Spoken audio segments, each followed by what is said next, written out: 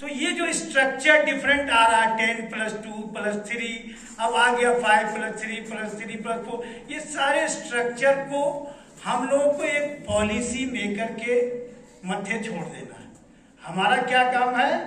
बच्चों के अंदर समझदारी विकसित करना। ये मेरा सबसे पहला टारगेट होगा कि बच्चों यानी स्टूडेंट में समझदारी कैसे आ जाए। तो इसके लिए हम लोग डिफरेंट लर्निंग थ्योरीज का यूज़ करते हैं और बताते हैं कि हम कॉग्निटिव मोड में आएँगे अफेक्टिव मोड में आएँगे, फिर साइकोमोटर मोड में आएँगे। कभी हम सिगमन फ्राइड की थ्योरी पर भी बेस कर देते हैं कि हम कॉन्शियसनेस की अवस्था में रहेंगे, कभी सेमी कॉन्शियसनेस की अवस्था में रहेंगे, कभी अनकॉन्शियसनेस की अवस्था में भी रहेंगे। तो इन सारी चीज़ों का मूल्य क्या है?